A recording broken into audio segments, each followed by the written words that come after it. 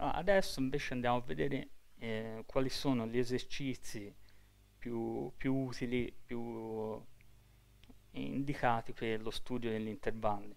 Allora, innanzitutto eh, per chi magari non, non, ha mai fatto questo tipo di esercizi, consiglio di partire eh, nell'ambito di un'ottava, poi passare oltre dopo.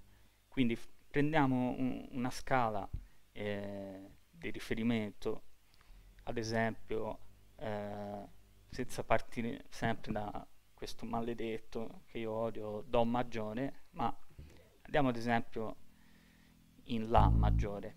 Eh, come si può appunto studiare eh, un determinato intervallo? Prendiamo l'intervallo di terza, eh, considerando le note della scala maggiore di La, poi ci sarà anche il corso, i, i video dove eh, spiegherò eh, per bene eh, tutte le scale, come si costruiscono, eccetera. E comunque la scala di La maggiore è composta da La, Si, Do diesis, Re, Mi, Fa diesis, Sol diesis e La. Eh, se io la suono per terze, viene fuori questo.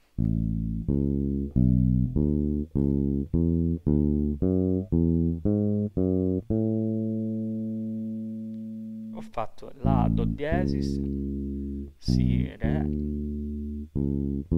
Noterete che ci sono terze maggiori e terze minori all'interno della scala.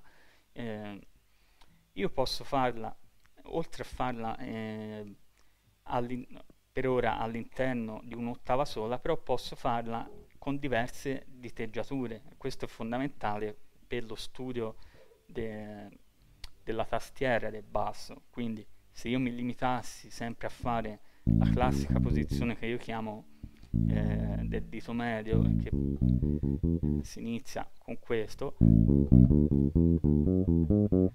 mi abituerò troppo con questo automatismo eh,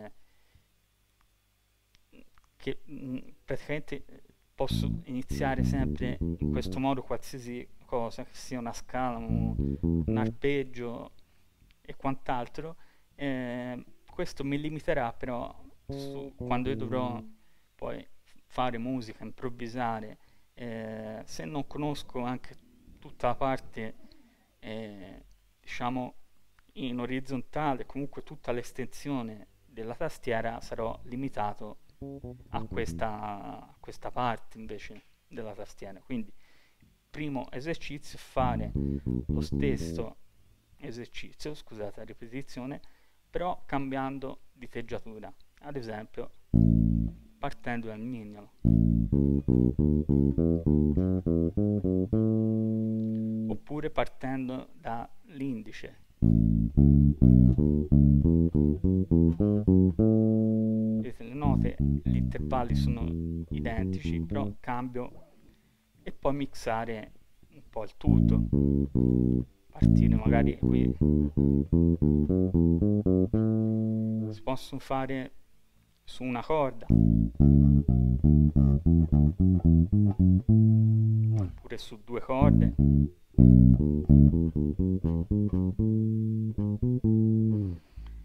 posso anche eh, fondamentale eh, diciamo intervallare l'ascendente col discendente che vedrebbe questo.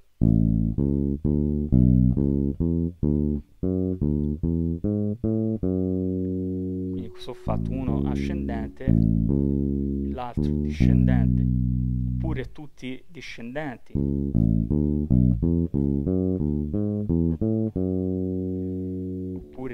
discendente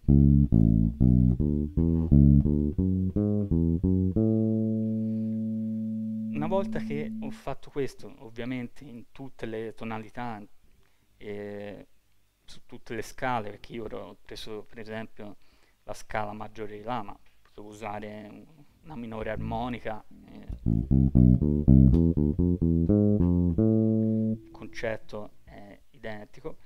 Eh, una volta che eh, avete studiato tanto all'interno di un'ottava, eh, con le varie posizioni appunto eh, cambiando la disposizione ascendente, discendente, tutto quello che abbiamo detto, possiamo eh, andare a, anche all'ottava superiore, quindi arrivare come obiettivo, facciamo conto, facciamo un altro esempio sempre in eh, darsi l'obiettivo della a due ottave sopra, non una sola, quindi.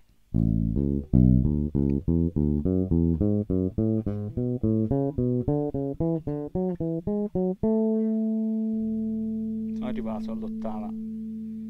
E posso fare come si diceva prima in diversi chiamiamoli percorsi della tastiera quindi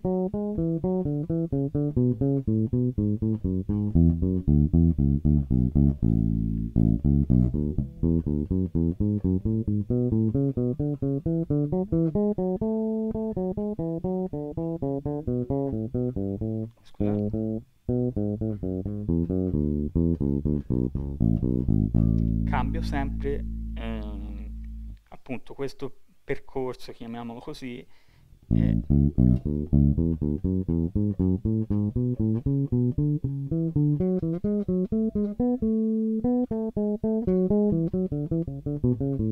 questi esercizi li posso fare con tutti gli intervalli. Quindi ora io ho fatto l'esempio delle terze però prendiamo una sesta eh, sempre in La maggiore per ora stessa cosa posso cambiare eh, diteggiature.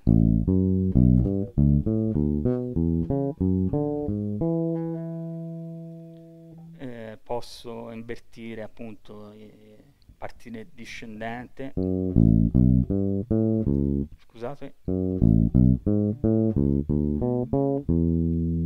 E via dicendo posso farli eh, su altre scale eh, quindi potete inventarvi milioni di esercizi eh, ovviamente in base all'estensione del vostro strumento quindi chi ha quattro corde sarà un po' limitato ad esempio sulle seste, le settime perché dopo un po' le note sono son finite chi invece ha un basso 5-6 corde ha più possibilità, più estensione quindi appunto più possibilità. Però anche noi che usiamo classico 4 corde eh, possiamo fare milioni di esercizi in tutti i modi eh, tutto utile. Eh, posso fare anche ad esempio ehm, le settime. Le settime eh, sempre sulla scala della maggiore. E via dicendo eh, questi sono tutti esercizi che vi torneranno utili quando poi eh, costruirete voi delle melodie o dei, dei groove, dei fill o delle semplici frasi eh, musicali dove utilizzando una sequenza di questi intervalli potete creare le cose eh, vostre e lo vedremo eh, nel prossimo video.